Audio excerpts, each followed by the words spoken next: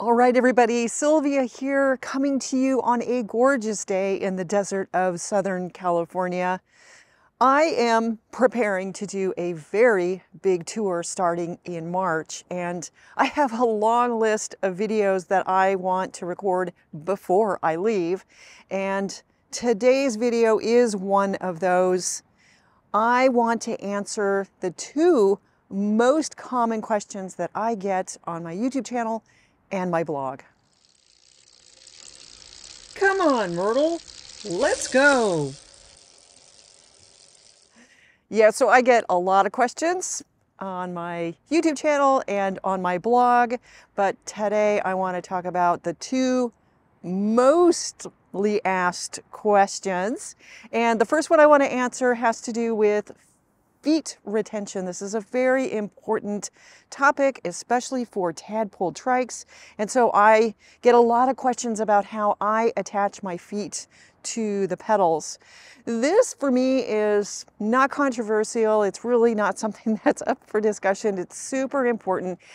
Any trike rider, particularly riding a tadpole trike, needs to have their feet attached to the pedals. There are a number of ways that you can do this. Probably some of the most common are using platform pedals.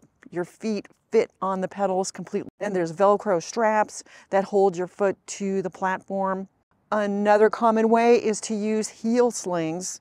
And this is where you have a canvas or wire that fits around your heel as you put your foot on the pedal. Probably the most common is to use SPD type pedals. This requires special shoes and you attach cleats, clips to the bottom of your shoes, and then they actually clip into the pedals. This is the most efficient way to pedal. You can push and pull as you have your feet attached to the pedals better than you can in any other method. Today I want to show you what I am using. Um, let me set up the camera so I can get a closer look at my pedal straps.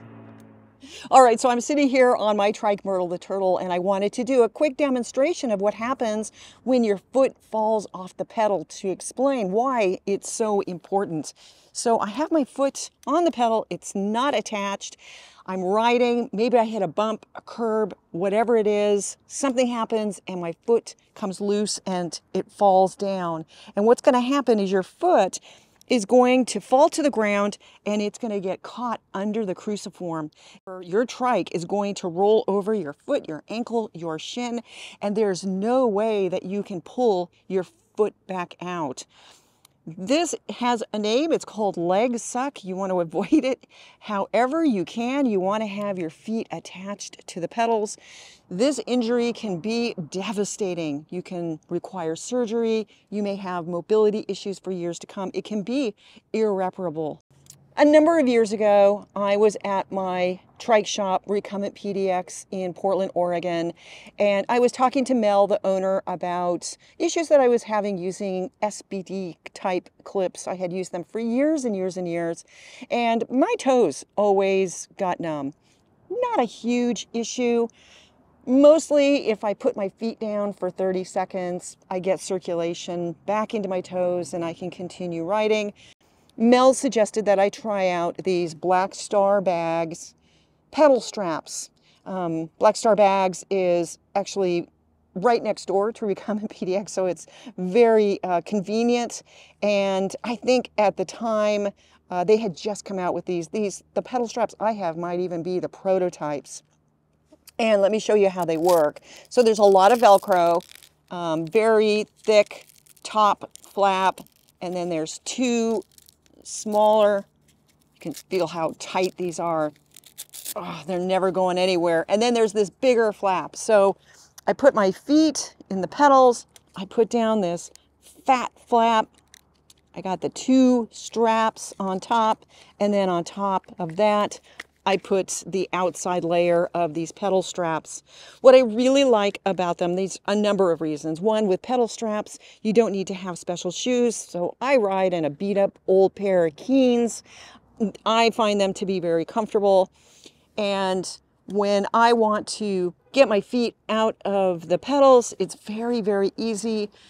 Um, and you'll notice that when I get my feet out of the pedals, that the straps, they keep their form. And so it makes it really easy to get my foot back into the pedals. The pedals that I'm using are Wellgo. They're really inexpensive. They have little mountain biking knobbies, so my feet um, kind of get connected with those as well as the straps. And these straps just fit through some openings on both sides of these pedals. I have left a link in the description for Black Star bags. Uh, these pedal straps I think are $46 and now you can get them in pretty much any color that you want. I think the new ones are a little more refined. This top strap isn't quite as wide and this thickness, it's not quite as thick. Uh, but you know what? These have lasted me five or six years and uh, they're wearing just perfectly fine. I have no reason to replace them. So yeah, take a look at that and see if these pedal straps will work for you. Uh, but whatever you do, figure out a way to get your feet attached to the pedals. All right, so on to the second most asked question on my YouTube channel and my blog. I get so many people wanting to know where they can buy my helmet visor. It really is a, a nice helmet visor. It comes in all colors. It's made of a very sturdy plastic. Uh, it lasts for a long time. I added this black trim to it. I got it at an automotive store. It's like for your car door to keep it from chipping, but I think it polishes it off pretty nicely.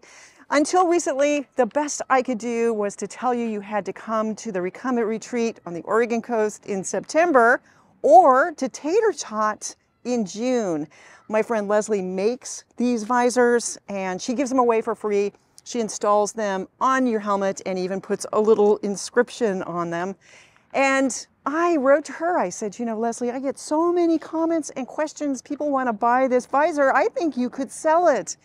And she said, okay, let's try it. And so she is selling these visors for $15. I don't know if that includes shipping, probably depends on where you live. And if you want more than one, I can't remember, but it's maybe $5 extra for each additional visor.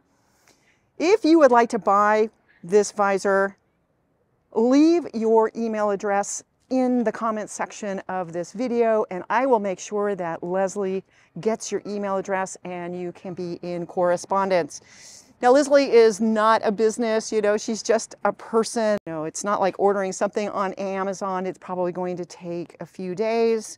Um, but I think uh, once I get your email address, I'll send it on to Leslie and you should hear from her really quickly.